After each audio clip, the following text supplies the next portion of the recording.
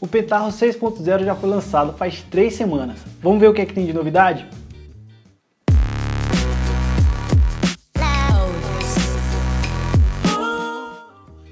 Vamos lá.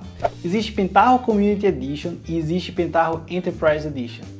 As maiores versões são lançadas simultaneamente para as duas edições, já que elas compartilham o mesmo core.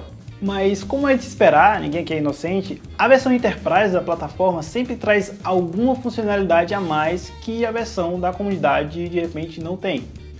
A Enterprise dá ênfase para um ambiente corporativo eficiente, mais complexo e com mais foco em produtividade. Isso não quer dizer, entretanto, que a versão comunidade fica para trás em poder tecnológico. Definitivamente não é isso. Simplificando a coisa, ela só não tem algumas muitas facilidades que a E traz, além de suporte oficial, claro. Mas vamos direto ao ponto. Eu vou falar primeiro das novidades que se aplicam tanto para CE quanto para EE e depois eu falo das novas funcionalidades exclusivas da versão Enterprise.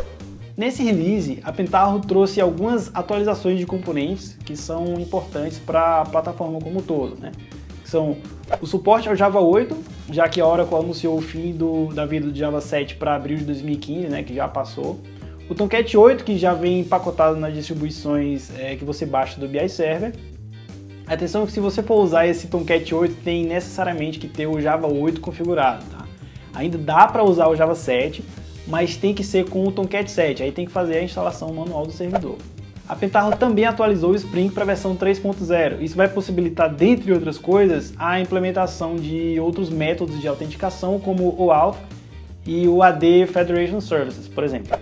Outras mudanças pontuais foram a criação de dois novos tipos de conexões, que são a conexão com o Cloudera Impala e com o Pentaho Data Services. Esse Pentaho Data Services é uma novidade interessante, que pode ser implementado somente na versão Enterprise do Pentaho, mas você pode consumir esses data services na versão comunidade. Eu já já falo mais sobre isso. Outra feature bacana é a possibilidade agora você fazer backups e restores completos de todo o teu repositório utilizando um script ou até as APIs do BI Server. Isso vai ajudar a melhorar a cultura de DevOps do teu projeto. Tem uma novidade também nas APIs de usuários. Agora você pode fazer ainda mais operações do que você já conseguia fazer né, com essas APIs.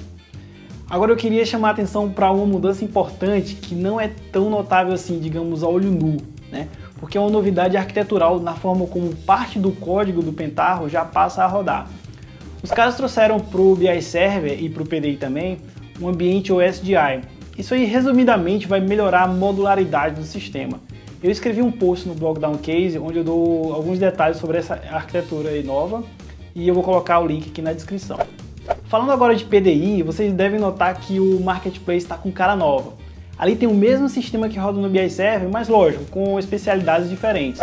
Tem uma novidade bacana também para quem usa transformações tanto em sistema de arquivos quanto em repositórios, que é uma nova variável de ambiente chamada internal.entry.current.directory. Ela substitui tanto as variáveis de pasta para job quanto as variáveis de pasta para transformações. Outra melhoria que muita gente vai notar também é que as conexões de bancos de dados que não são utilizados dentro de uma transformação ou de um job, elas não vão mais ser salvas nesses arquivos. Isso é bom, né? Ainda sobre a versão comunidade, eu queria dar um aviso para quem usa o Cycle. É, ele já tem uma versão compatível para o Pentaho 6.0, tá? E ainda, se você usa o Cycle na versão comunidade e realmente não tem condições de adquirir uma licença Enterprise dos caras, considere fazer doações para eles. Eu vou colocar um link aqui na descrição para essa página de doações. É, os valores não são muito altos. Vamos agora falar da EE. Eu vou começar falando de algumas funcionalidades muito interessantes que o Analyzer está trazendo. Agora, o usuário vai poder fazer atualizações do esquema pela interface do Analyzer. Isso mesmo. Ele vai poder mexer nos metadados e persistir aquilo para que outros usuários também possam utilizar. Isso também inclui a criação de campos calculados. Mas quer saber o melhor de tudo? Uh, vocês lembram do Streamlined Data Refinery que o Yandé apresentou no Pentaho Day em 2015 agora?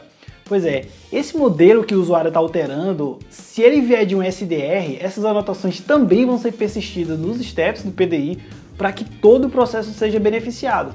Isso é bom, né? Pentaho Data Services. Isso aqui é um muda um pouco a perspectiva de ter que persistir dados num DW.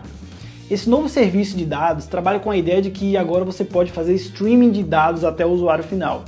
Resumidamente, você pode ter uma transformação que puxa dados, digamos, do MongoDB e aí você diz ali num dado step que você quer fornecer um serviço sobre aquela transformação. Aí então você pode utilizar o JDBC do Pentaho para poder conectar nesse serviço. É, os clientes podem ser Analyzer, Report Designer, R e muitos outros que falam JDBC. O serviço utiliza um mecanismo interno de cache né, para poder agilizar as consultas analíticas e vale a pena conferir. Eu vou deixar um link aqui na descrição que fala sobre essa feature. Outro grande destaque dessa atualização é o que o pessoal está chamando de Data Lineage. Quando esse cara está habilitado no PDI, são gerados arquivos que indicam exatamente de onde vêm, por onde passam, como são transformados e para onde vão os teus dados. Captou? É visualização de dados automatizados sobre o fluxo de execução do teu ETL. Isso aí é excelente para auditoria e verificação de dados, já que você consegue aí é, utilizar ferramentas para visualizar graficamente toda a sequência do que aconteceu no teu ETL. Isso é bom porque permite antecipar o impacto de mudanças no sistema de origem, por exemplo. Permite informar ainda é, quais sistemas de origem possuem a informação que eu preciso no meu sistema de destino e como é que eu vou implementar isso. Né? Dá também para analisar o impacto de um ETL que foi de repente é, finalizado com erro os arquivos que o Data Lineage gera são arquivos que podem ser lidos em ferramentas de mercado, como Meta Integration Technology, MIT, e o IED também. Eu vou deixar alguns links para essas ferramentas aqui embaixo para vocês darem uma pesquisada. Por último, agora eu queria falar sobre o monitoramento de eventos do PTI, ou monitoramento de, monitoramento de SNMP. Através disso, você consegue expor para outras ferramentas de análise uma série de eventos de ETL, como por exemplo, início de uma transformação ou início de um job. É bom porque com esse monitoramento você consegue avaliar de uma maneira bem mais simples a performance do teu ETL diário, por exemplo, e até identificar, sei lá, algum impacto de rede que um ETL mais lento possa ter. Bom, esses foram aí os destaques que a gente queria passar. Não deixe de dar uma explorada nos links que a gente colocou aqui embaixo, porque ali tem diversos detalhes que podem tirar de repente alguma dúvida que você tenha sobre essas novidades que eu mencionei. Se você gostou desse vídeo, dá um like aqui pra gente, que aí a gente consegue verificar o feedback sobre o conteúdo. Para quem está iniciando no mundo de Business Analytics com Pentaho, o Henrique fez um vídeo semana passada sugerindo algumas literaturas, dá uma olhada lá que vale a pena. Teve outro vídeo que saiu antes também, que fala sobre a matriz de versões do Pentaho. Dá uma olhada lá. É isso, não deixe de se inscrever no canal, porque toda terça-feira tem vídeo novo. É, segue a gente também nas redes sociais para poder saber de novidades. Para você que assistiu o vídeo até aqui, um meu muito obrigado. A gente se vê na próxima.